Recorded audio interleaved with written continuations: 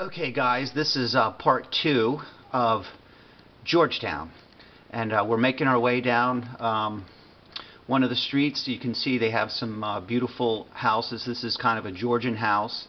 Um, we're not going in a lot of these structures. I had, did not uh, take the time to furnish all of these, but uh, just kind of exterior structures. And then this is the back of the, uh, the artist area. So we're going to make our way back, and what we're going to do now is we're going to go up and see some office space. Uh, I've looked at you know quite a few videos, and I couldn't find anybody that had done uh, you know true to form office space. So we're going to get kind of technical here. And uh, oh, by the way, this is the back part of uh, Catton's Walk. So now what we're going to do is we're going to ooh, didn't mean to go that fast.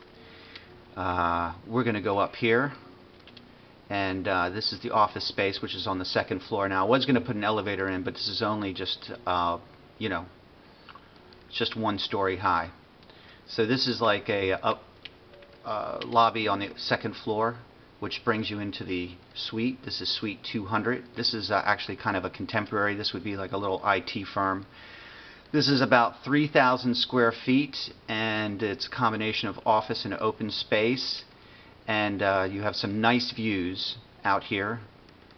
That's the yellow house and uh, you can see the village and Ascot, Tudor. And uh, this is the reception area. Now this is not completely furnished, it's only partially furnished. So this is the conference room or boardroom. And uh, as you can see it's got glass so you can hang out in there and see, look around the office. Uh, these are cubes. Yeah. So uh, you know, these are cubes that, um, you know, they're built in for employees. So we leave those there and you could put more out here or more desks. You could actually build some more offices if you wanted.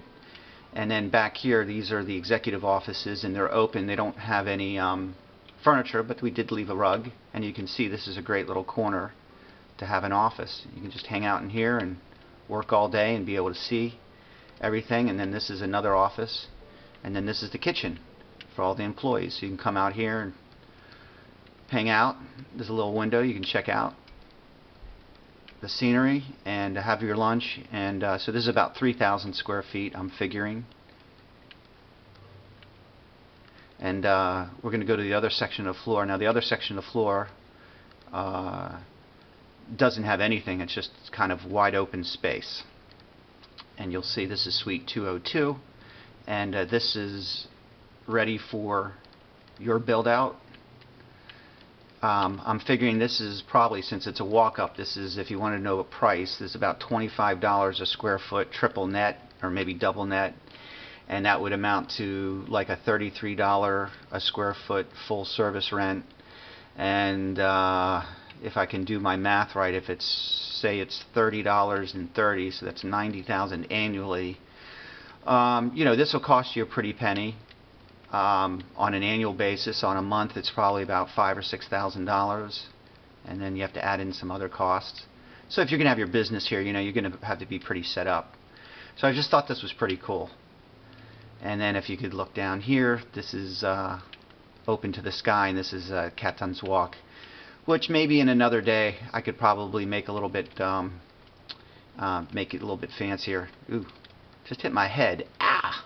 And then uh, this is a little seating area. So if you had somebody coming to visit you you uh, the lower level. And as uh, the sun sets on Georgetown we'll pop up and uh, we'll take a sky tour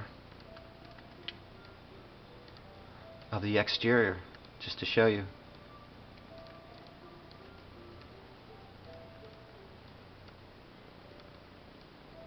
I think it came out pretty well.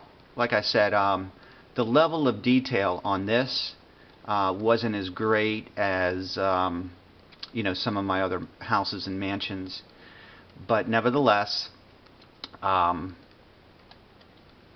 you know, like I said, it, it you could just keep going and going and going and adding more and more and more. So I had to kind of hold uh, hold up on uh,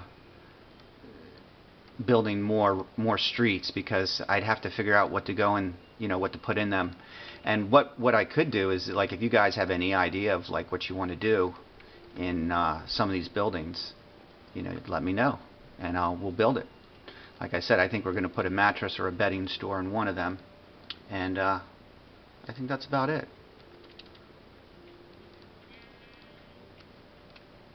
And we'll just pop up one more time because it's nighttime, and you can see how we did the roofs. Kind of really looks like a city. We'll go way up. You can see the skylight here. I thought that looks pretty cool. So, nice little town, huh? What do you think? And uh, next up, I think what we're going to do is, um, um, I think what we're going to do is probably, uh, I'm not sure if it's an Italian or a French Renaissance um, mansion. I guess we could call it maybe a French chateau or uh, an Italian uh, themed, and it's going to be uh, up the street here. Now, I've already started working on it, but um, it's uh, it's a work in progress. It, it's had to go through some renovations. Well, at any rate, have a awesome day. I hope you enjoyed the video. This is Georgetown. This is Xtreme Takeover signing off, and uh, enjoy.